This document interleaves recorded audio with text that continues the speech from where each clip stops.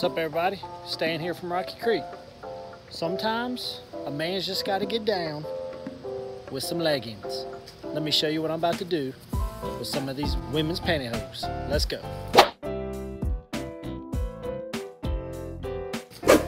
We're gonna go down here and spend some time in the garden. Let's just check on everybody. We've already done more than feeding. We'll do our afternoon feeding here after a little bit. So I haven't quite moved Old Red and well, the other Welsummer doesn't have a name. Haven't moved them in with everybody yet, but I've been letting them out each day and letting them free range, which that's kind of allowing them to be around some of these guys, and they're starting to get used to them as they're seeing them more and more. Henry, Olivia, y'all doing all right? What's up, buddy? You been good? Olivia, y'all pretty calm today. Y'all must be tired. Y'all must have partied all night last night. Well, Henry and Olivia, they just like to get down. Now see, I got my car backed up right here. I just had to bring back, we brought back about 300 pounds of feed between the chickens and the pigs, so that's why that's there. Got all that unloaded this morning. You know, I'd like to film a lot more and to go over a lot more little things like that, but you know, just right now, man, we just got so much going on. I just, I can't do, can't film all those little things, so I just got to pick and choose. A little bit I do want to show y'all so we can make sure we're still giving y'all content on a regular basis. Let's go check on Mater, see what he's doing.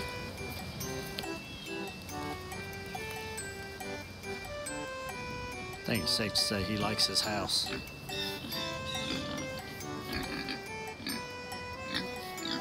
Sorry, buddy. I didn't mean to wake you up. You going back to sleep. What's up, brother? You sleep good on these nice, cool fall mornings, huh? I'm sorry I woke you. It's your big nose.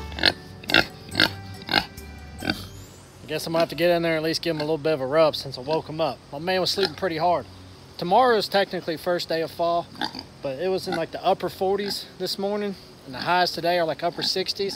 As you can see, got to break out my flannels. I love it when I get to wear my flannels. Since I did wake my man up, let me at least get up in here, give him a little bit of a scratch, because he's gonna want at least a little something. What are you eating on? You eating on the acorns that are falling? I'll get you a bunch of walnuts here soon. You can eat those too.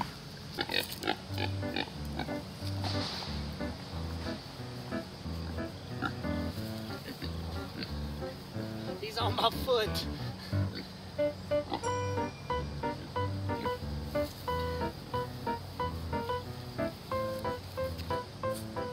Hope you enjoyed that.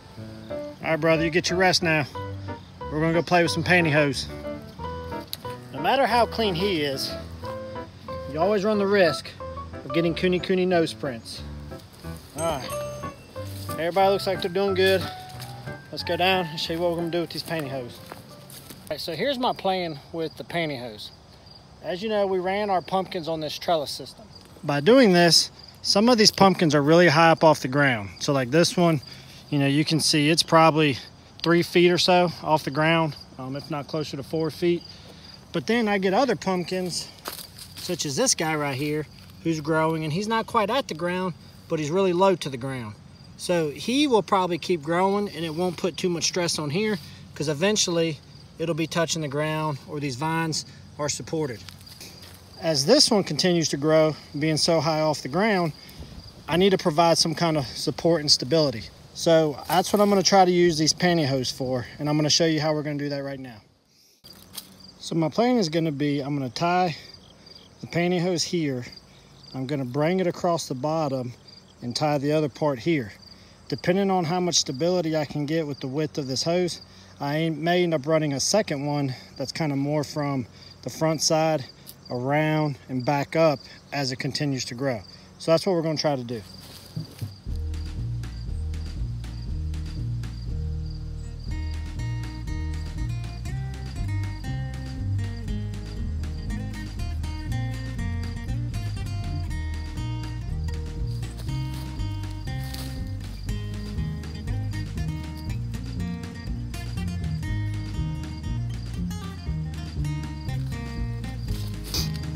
So you can see I started the tie right there, brought it across and tied the other end right up there.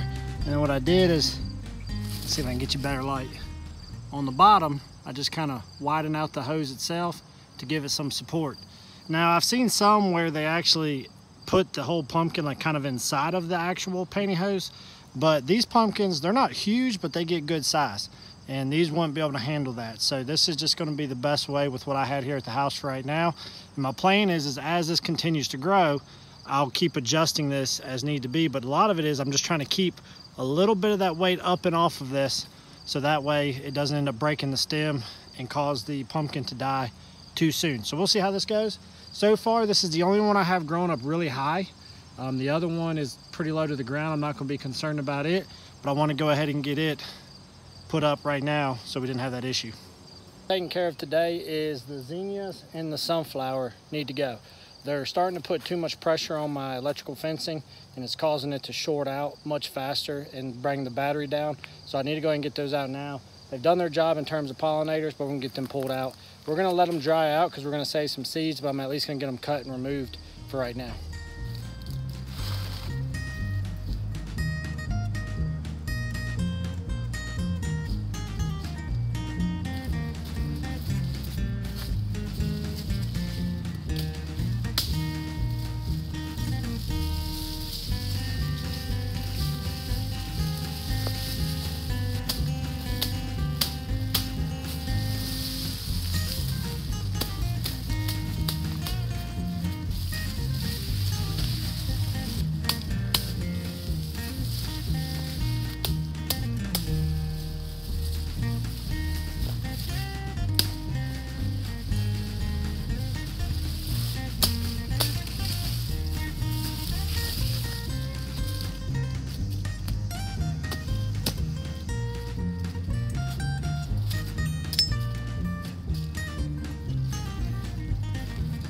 All right, so you see we got all that cleared out. Got sunflower out. The ones on the outside, I will leave them as long as they're not touching the fence. I cut away what little ones were touching it. Um, I leave the roots in the ground if I can. I'll let those deteriorate and die off. Um, and then we'll till all that back into the ground anyways. Um, as you can see, our tomato plants still doing really good. We got a lot of good red tomatoes that we've been picking like crazy. If I can get in here. As y'all can see, harvesting these beautiful red tomatoes now. I talked in previous video that I never would have thought, you know, we'd be mid to late September, almost into October before we'd have them all. But we've been picking in abundance. Um, we probably got every bit of 30 to 40 of them in the house right now. And there's still a huge amount out here. So we're very thankful that it ended up not becoming a waste and that it is gonna be a good harvest when it's all said and done. So yeah, very pleased and very appreciative of these tomatoes that we're getting. Go up here, let's give you an update on Lucky and see how he's doing in his new home. Y'all see the three ladies? Still hanging out with the pigs. Henry? Are those three ladies in here because they think you so cute? You know they're a chicken, right? And you're a pig. It's not gonna work out. Sometimes love has no boundaries, I guess. As you can see, Lucky's doing great. He's moving around a lot. He's trying to use that second leg. If Chloe leaves him alone, we'll be all right. I would never let an animal live if I thought it was in pain without addressing it in some form or fashion. I think he just doesn't know how to balance on it yet. It's his problem. So, but other than that, Lucky's doing fantastic. He's enjoying his new home. I think this has worked out well. I can tell he wants in with those other chickens. Anytime I throw stuff in there or doing stuff with them, he wants in there so bad. So he's just going to have to learn to ride it out right now until he gets a whole lot better. So y'all just want to take some time today to share with you how I'm going to try to support the pumpkins on the trellis system. I was hoping we'd have more than two right now growing on that one particular line of them, but it's all we got right now, so we'll hope for the best. Like I said, we're kind of hands off with this garden for the fall just because of time's sake. So whatever I do get out of it, I'll be appreciative of it. The same will go for the squash though, the winter squash that we're growing. As they run up on trellises and they get bigger, if the squash plants start to get he heavy or, or, don't seem like they're gonna support themselves, I'm gonna plan to support them the same way. So come along with us as they continue to grow and we'll let you know how well it works. Until then though, I'm gonna take this good looking tomato in the house and I'm gonna go ahead and have me a tomato sandwich. So until then, y'all be good. We appreciate y'all coming along with us. We appreciate y'all's continued support.